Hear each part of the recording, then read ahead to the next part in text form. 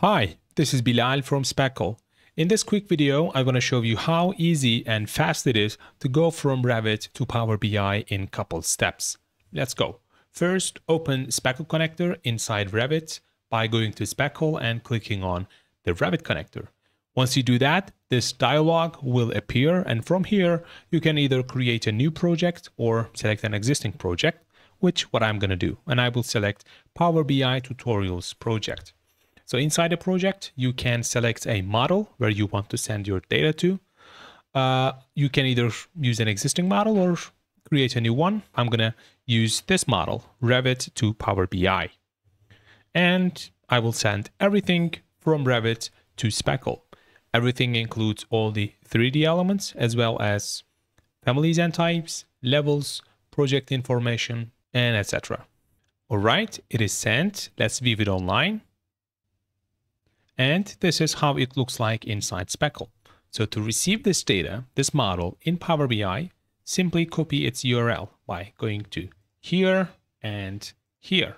I'll copy the URL and now let's go to Power BI.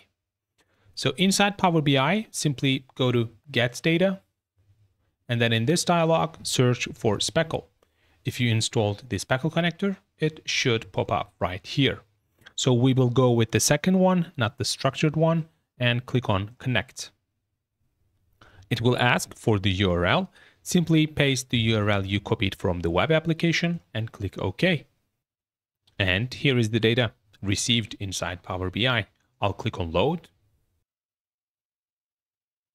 And okay, now here it is, query one. So let's view our model in 3D inside Power BI.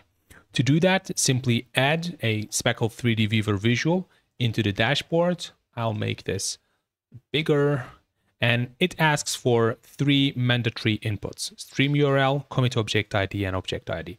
I'll simply drag these from the received data and object ID. So once you do that, you'll be able to see your Revit model inside Power BI. Alright, so that was it. Thanks for watching and see you in the next one. Bye bye.